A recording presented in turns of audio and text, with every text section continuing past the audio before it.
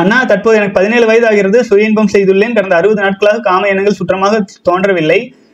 உடல் உறுப்பு இயல்பை விட சுருங்கிவிட்டது. ஆனால் எனக்கு ஃப்ளாட் லைனில் இருப்பது போல இல்லை. காம எண்ணங்கள் தோன்றாமலும் மன அழுத்தமாகவும் இருக்கிறது. முகத்தில் கலை இல்லை. நம்பிக்கை நம்பிக்கையும் செலிபஸி ஃபாலோ பண்ணுகிறேன் அண்ணா. இதை பற்றி கொஞ்சம் விளக்குங்கள் அண்ணா. சரி சரியாகும்? பதினேழு வயசு ஆயிருக்கு அறுபது நாட்களில் காம எண்ணங்கள் இல்லை. ஆனால் சுய இன்பம் செஞ்சுட்டு தான் இருக்கீங்க. வாழ்க வளமுடன். அது செஞ்சீங்கன்னா இறைவன் உங்களை விட்டு போயிடுவான் சரிங்களா? இறைவன் உங்களை விட்டு போயிடுவான். நம்மளே நம்மளே பார்க்கறதுக்கு பிடிக்காது. உங்களுக்கு இன்னொரு விஷயம் சொல்லட்டுங்களா? சிலர் வந்து ஒன்று சொல்லுவாங்க. கம்பேர் கம்பேரிட்டிவ் மைண்ட் செட் அப்படிம்பாங்க. நான் ஏன் வந்து அஜித் மாதிரி இல்லை? ஆச்சுங்களா? அண்ணா நீங்கள் ஏன் நான் நீங்கள் வந்து அரவிந்த் சாமி மாதிரி இல்லை? பிரம்மசரியத்தில் ஃபாலோ பண்ணுறீங்க அப்படியெல்லாம். இது ஏன்னா சிக்கு மைண்டு சிக்குடு மைண்டு ஆச்சுங்களா? நான் பத்து வருஷத்துக்கு முன்னாடி எப்படி இருந்தேன்? இப்போ எப்படி இருக்கிறேன்னு எனக்கு தான் தெரியும்.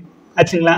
அதே மாதிரியே ஒரு அப்துல் கலாம் இருக்கிறாருன்னா அவர் வாழ்க்கை மூறா பிரம்மச்சரியத்தில் இருந்தாருன்னா அவர் என்ன தேவாதி தேவர் அளவுக்கு அழகு பொலிவா மாறிட்டாரே என்ன ஆச்சுங்களா அது வந்து வேற. அவங்கவுங்க பர்சனல் ஆச்சுங்களா? அது இறைவனின் வெளிப்பாடு எப்படி இருக்கோ அப்படிதான் இருக்கும்.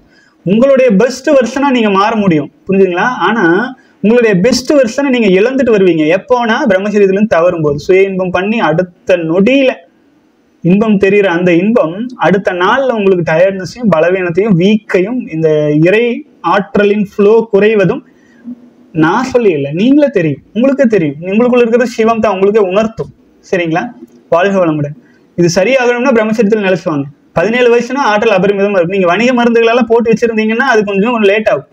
ஆக்சுவலாக அதை பற்றி நமக்கு தெரியாது. வணிக மருந்துகளை எடுத்துக்காமல் பியூராக இருந்தீங்கன்னா பியூர் பிளட்டாக இருந்தீங்கன்னா உடனே உங்களுக்கு மாற்றம் தெரியும். நாலு நாள் பிரம்மச்சரியம் கடந்தீங்கனாலே நாற்பது வயசா இருந்தாலுமே நீங்க பிரம்மச்சரியத்தில் இருக்கும்போது அந்த ஸ்ட்ராங்னஸ் தெரியும். ஆச்சுங்களா? வாழ்க வளமுடன்.